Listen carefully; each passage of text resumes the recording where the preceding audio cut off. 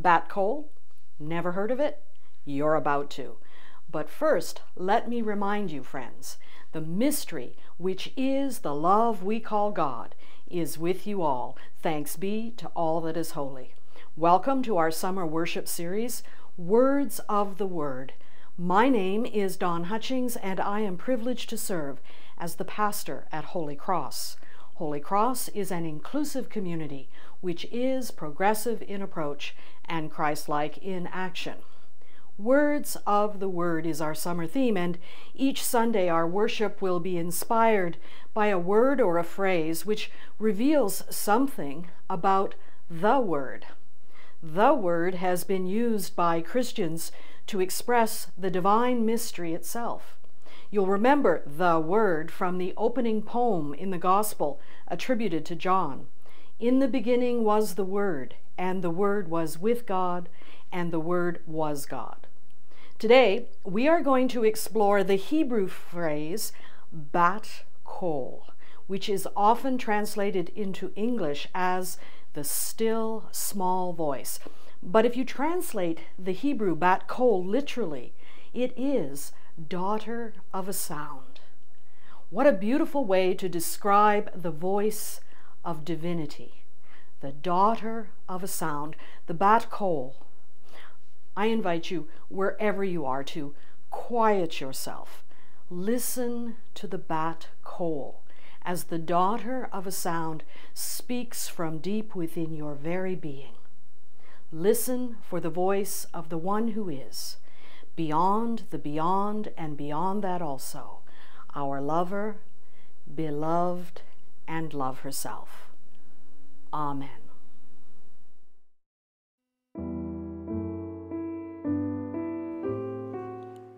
Let us pray. Longing to hear the one who is, the one who made us, the one who breathes in us through us, and beyond us. Let us open ourselves to the voice who wells up within us. Let us hear the still, small voice of the one who is beyond the beyond and beyond that also, and yet still within us, encouraging cajoling, pushing, and inspiring us to live, to love, and to be. For we are fearfully and wonderfully made in the image, the likeness of the one who is Yahweh, the great I am, our lover, beloved, and love herself. Amen.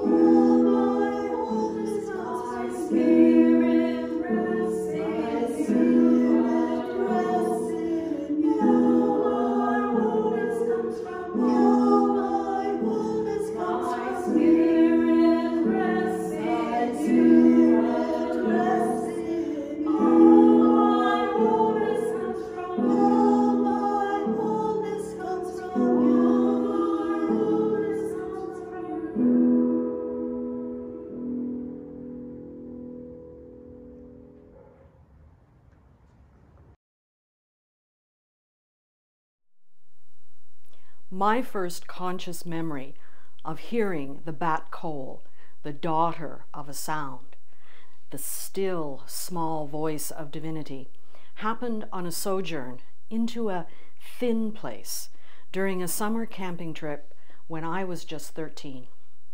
My family had traveled to the west coast of Vancouver Island to what was back then a mostly unknown treasure. Pachena Bay is by far one of the most beautiful places in all of creation. These days, hikers on the Pacific Rim Trail often begin or end their hike by camping at Pachena Bay. But way back then, the bay was only accessible by the most treacherous of logging roads, and there was no official campsite back then. You simply asked the members of the First Nation for permission to pitch your tents on their land. As a result of this splendid isolation, we spent several weeks as the only family camped in this idyllic bay. One of the main attractions at Pachena Bay were the pods of whales that are attracted to the bay. Pachena Bay, with its warm Pacific waters, heated even more by virtue of its shallow depths, attracted schools of salmon, lingcod, and halibut, who make up a veritable smorgasbord for the pods of whales that continue to visit the bay to this very day. One quiet afternoon, my brother Alan and I were playing on the shore. Our parents were sound asleep when the whales arrived. I'm not sure how many whales entered the bay. Our count was based on the number of spouts that emanated from their blowholes. So there could have been half a dozen, or there could have been only one whale. Anyway, we did what any self respecting kid would have done in our position. We jumped into our rubber dinghy and we paddled as fast as we could determined to chase whales.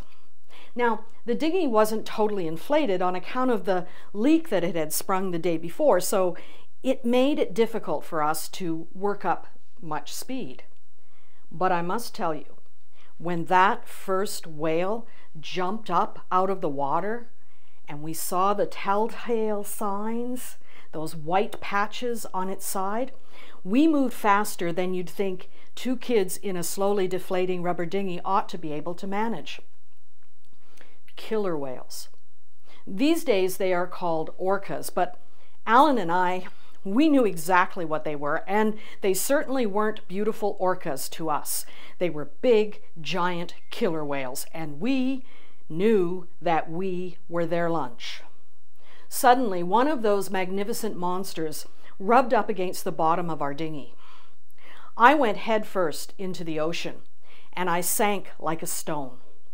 The underwater sight of two killer whales caused me to open my mouth to scream, and water rushed into my lungs.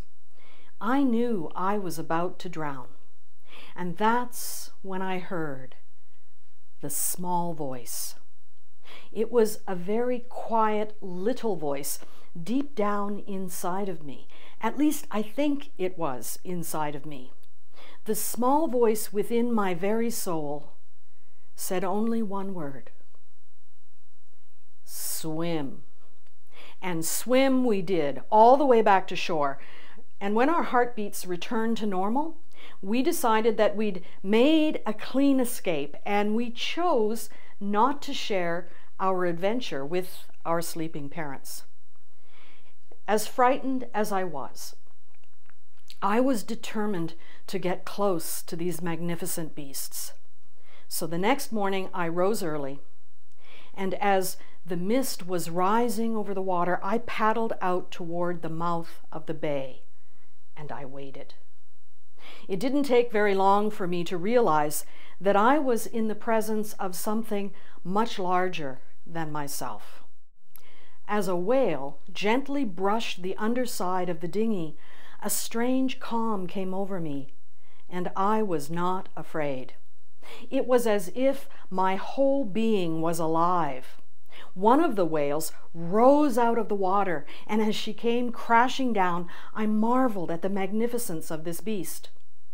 After what seemed like hours, but was probably just a few minutes, the whales moved on, and I was left to clumsily put words onto the depth of my experiences in what the ancient Celts would have called a thin place, a place where the lines between the ordinary and the sacred are very thin, and we can see, feel, touch, hear the mystery which lies at the very heart of reality.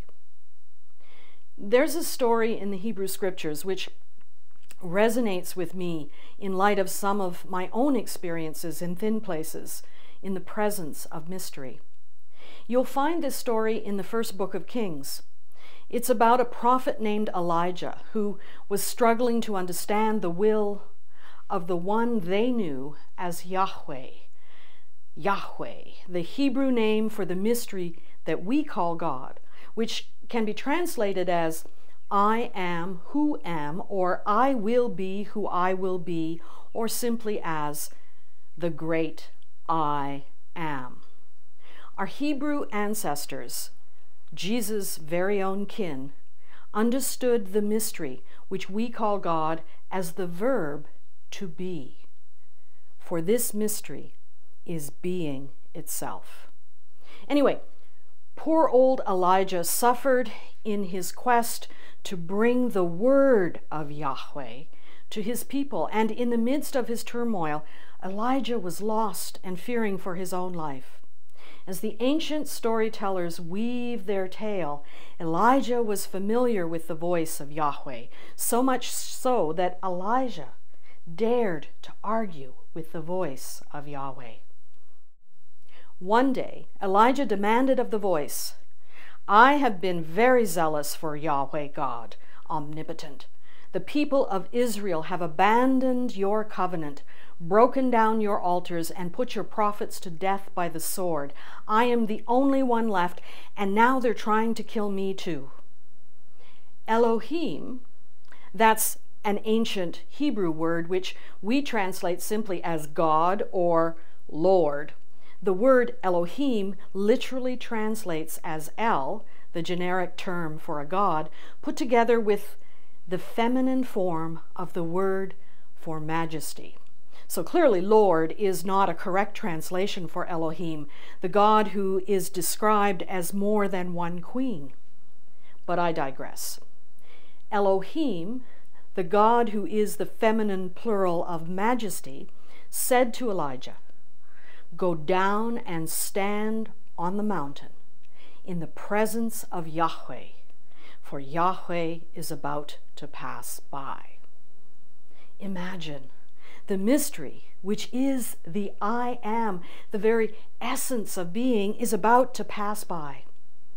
Our Hebrew storyteller paints such a vivid picture of the thin place in which Elijah stands. Then a great and powerful wind tore the mountain apart and shattered the rocks by Yahweh's power, but Yahweh was not in the whirlwind. After the wind, there was an earthquake, but Yahweh was not in the earthquake. After the earthquake came a fire, but Yahweh was not in the fire. And after the fire came a still small voice. A still small voice. Our English translations do not do the Hebrew justice, for after the fire came a bat kol. Bat Kol, the daughter of a sound, or as some translations put it, the daughter of a voice. Elohim, the mystery which is the God known by our ancestors as the God who is the feminine plural of majesty, the one Elijah knew as Yahweh, the one who is the verb to be, the I am. This one comes to Elijah in the daughter of a sound. Have you heard her, this daughter of a sound? Back when I was just 13, I didn't really have words to describe what was happening to me, but the experience was so vivid that over the years I've often traveled back to those moments of wonder. It was as if I was connected for the first time to all that I could see and to more than I could see. I felt a strength within and a power envelop me, and even though it overwhelmed all my senses, I was not afraid. I had a confidence which goes beyond words, a confidence which began with one word, a word uttered by the bat kol, the daughter of a sound, which spoke a still small word from within me. a kind of assurance that I was an intricate part of something much bigger than myself. The colors of the bay were more vivid than before, and it was as if I could actually taste the contours of the mountains. I fe- felt held and cared for in a way which defies explanation because it is beyond words and yet grounded in the Word, which welled up within me. All too soon, the experience ended, and I was left feeling like I'd traveled beyond the bay to a place beyond time itself. It would be years and years before I could put a name to where I'd been, but there is absolutely no doubt in my mind that I had, had encountered the holy in that daughter of a sound who spoke within. The holy, the mystery, the divine, the one we call God. Years of reflecting on the various times in my life when the bat kol, the still small voice, the daughter of a sound, has welled up within me, has led me to a word which I believe comes close to describing the one whom I encountered all those years ago, the one who I long for to this day, the one who grounds me in this life. And that word is love. Love in which we live and move and have our being, one with all that is. Love which lives in, with, through, and beyond you and me. This love speaks to us in a still small voice, the bat kol. May the daughter of a sound speak within you and be heard within you, so that you may know the power of the bat kol and embody love in the world. Swim, be, for you are one with love, which is being itself, being beyond the beyond and beyond that also, our lover, beloved, and love herself. Amen.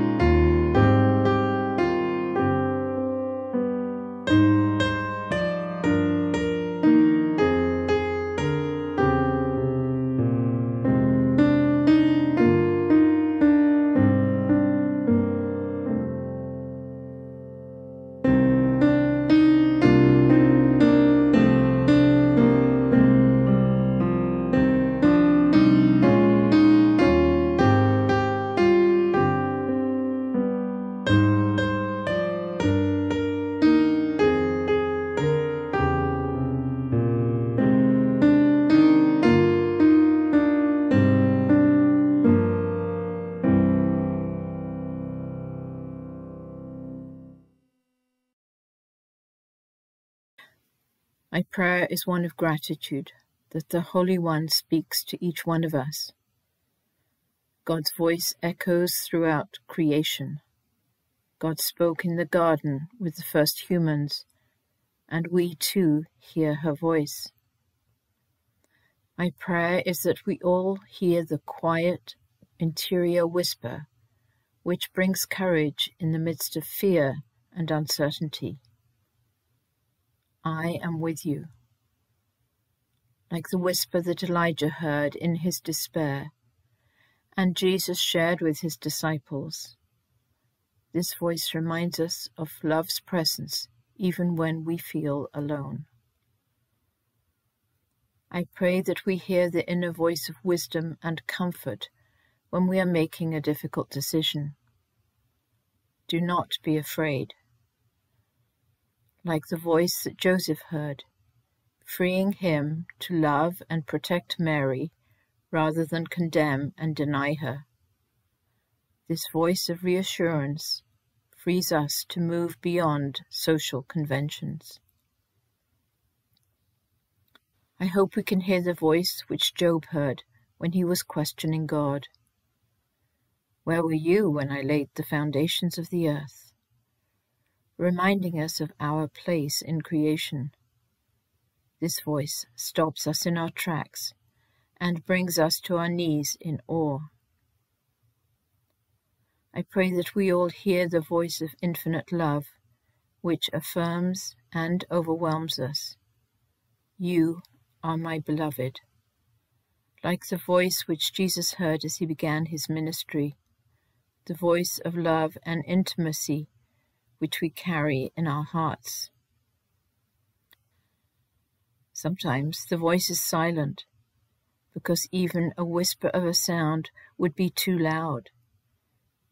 Instead, there is an overwhelming sense of the presence of the Holy One, an experience in which words are inadequate, because the presence of love itself is peace and joy and harmony.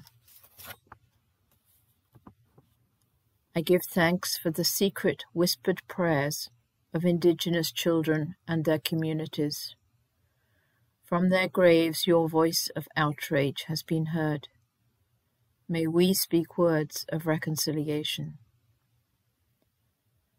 I give thanks for the faithful, hope-filled songs of slaves.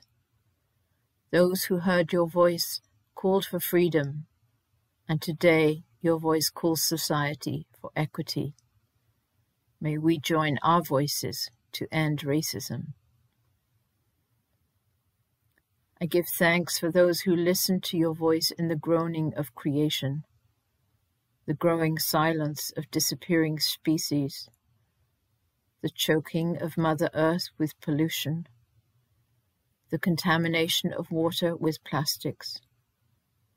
Your voice is no longer a whisper to a few, but a strident call to all of us. May we honor and protect your creation. I give thanks for the peacemakers and the troublemakers who hear your call to justice for the dispossessed, marginalized, homeless, and starving. May we empower the people and agencies who devote their lives to improving life for others. Holy One, teach us to know your voice, which is full of life and love. Fill us with your truth and wisdom. Call us to actions of reconciliation and peace between all people. Prod us towards justice for the disempowered and energize us to take care of this planet and each other.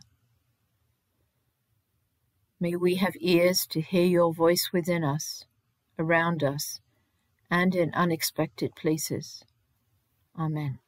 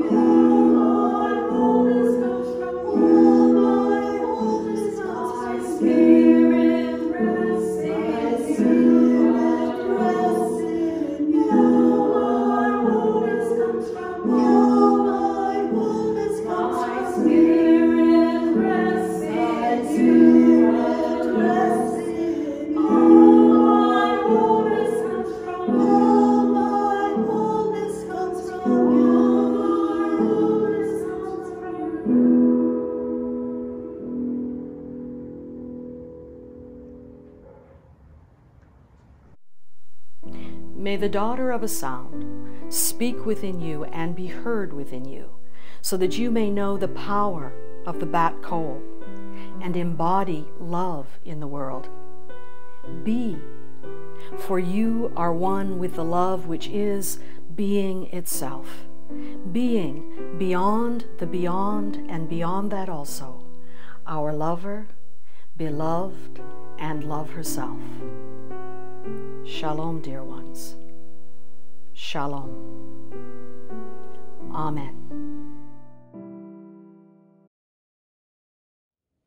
We hope that you have found this broadcast to be of value to you at this time. To continue to offer these, we depend on the support of donors. If you wish to help to keep us going, please donate what feels right for you via Canada Helps to Holy Cross Lutheran Church, Newmarket. Peace be with you.